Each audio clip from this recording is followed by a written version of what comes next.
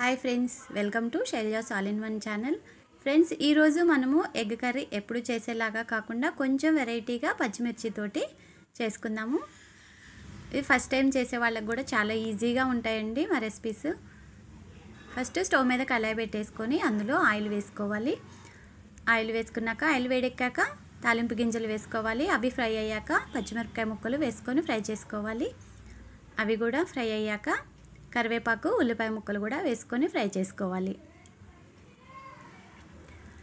ఇవి కొంచెం ఫ్రై అయ్యాక పసుపు ఇంకా టేస్ట్కి సరిపోను ఉప్పు వేసుకోవాలి.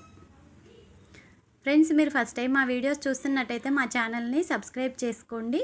మీకు ఈజీ అండ్ టేస్టీ రెసిపీస్ ఉంటాయండి. ఇలా టేస్ట్కి సరిపోను ఉప్పు కూడా వేసుకొని వీటిని బాగా కలుపుకొని ఇంకా ఫ్రై అవ్వనివ్వాలి. ఇలా ఉల్లిపాయ ముక్కలు కలర్ చేంజ్ అయ్యే వరకు ఫ్రై అయ్యాక అందులో ఇప్పుడు ఎగ్స్ వేసుకుందాము. పావు కేజీ ఉల్లిపాయలకి ఒక త్రీ ఎగ్స్ వేసుకోండి ఎప్పుడైనా బాగుంటుంది కర్రీ.